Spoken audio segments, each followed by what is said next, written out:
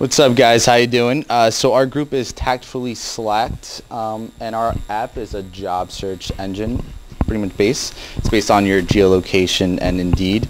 Um, I have Greg right here and Jeremiah. We worked really hard on this. That uh, Jeremiah had to end up in the hospital last week, so thank God he's here.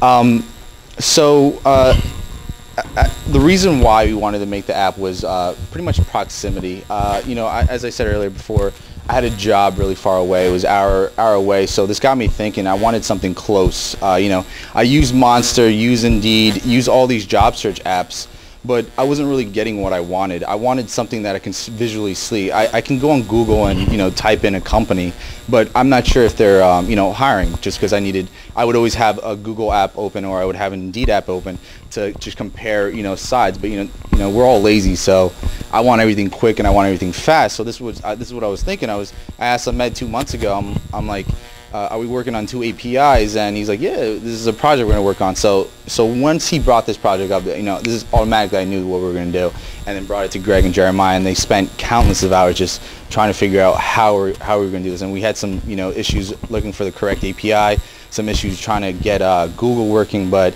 somehow they pulled through, and we. Uh, and we got it going. So Greg over here is gonna, we're gonna talk about, uh, you know, running through the app, and then uh, Jeremiah, we're gonna run some code. All right.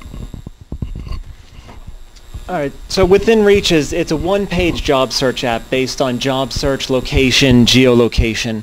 And we did the initial sketch for it in Balsamiq. Uh, we use Bootstrap as the basic framework, HTML, CSS, uh, JavaScript, and jQuery for the coding of it. Um, the two APIs, as Jorge said, were uh, the Indeed Job Search API and the Google Maps API, and we incorporated Firebase in order to have um, saved searches. Okay, so this is this is going to be the home page. So there's two main ways to search on this home page. One is through the search box, and the other is through the recent job searches, and this is where Firebase comes in. Um, also, in the background, you'll see a map, and this is set by your geolocation, or if geolocation is not enabled, it's set by default to New Brunswick. So if we do a basic search, also also, if we don't have a, um, any location set, it'll throw up an error message. So if we do a basic search, it'll come up. The first elements will disappear. Again, this is a one-page app, so the first elements are there, but then they become hidden. Um, the map is centered to your geolocation. The markers drop. If you hover over the markers, it'll come up with the, the name of the job, the company, and a basic description of the job. And if you click on it, it will highlight the job search on the side and scroll to the top to let you know which one you're looking at. If you click on that job search, it'll bring you to the Indeed page so that you could apply for the job. Now on this actual page, we have a few other features. One is geolocation at the top again, and another search bar to perform another search. Um, we have pagination on the page, which will go through in a, in a list of uh, 10 jobs, and then each time you go through, it'll drop the new markers on the page for that job. Um, it'll list the amount of results on the top and the search term that you're currently looking for. So just to run through the code real quick, there's a few different things. Uh, we'll just go through the functions that build the biggest part of the site. Um, here is initially, in order to use the Google Maps, um, we had to sign up for an API key. This creates the map that um, eventually the rest of the data is going to uh, jump to. You have to put a center when you're creating the map initially, so we just have it initially set to New Brunswick, New Jersey, but then we overwrite it based on the search results anyway. This is just our map for the home page. Um, this is the save search Firebase data. Um, we're pushing every new search result and then reprinting it back out into the screen. There was a couple of tricky parts to this search um, because the Indeed API doesn't give you the latitude and longitude of the job until you get that specific job code. So what you have to do is you first have to submit the search um, for with well first of all we had to set up we had to get a publisher id which we, we were able to get. Um, and then you submit your search information and based on those results within the results we had to submit another locate request in order to get the the latitude and longitude. From that information then we created the markers for the map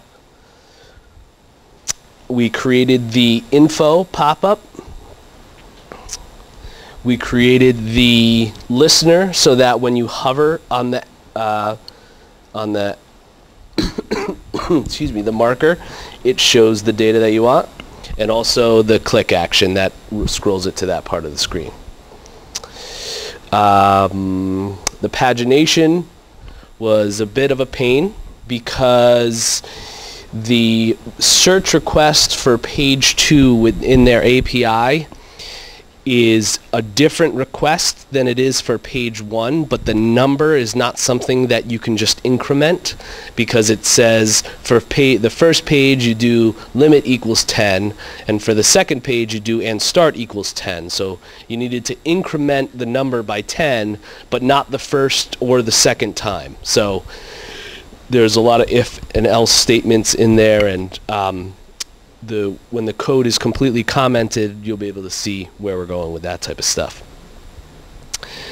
Um, each of the clicks, um, we're doing the same thing that a lot of other people are doing when you're using a single pap, uh, app. We're hiding and showing specific uh, fields and divs and that's pretty much it. This is the geolocation request um, from the browser in order to capture the um, zip code. What we're actually doing is we send the request into the computer and then the response is a JSON just like it is with an API we look through the JSON to find the zip code, and then we input the zip code into the um, location field. Uh, and that's pretty much it for the code. Was there anything else you guys wanted to say that you felt was fun?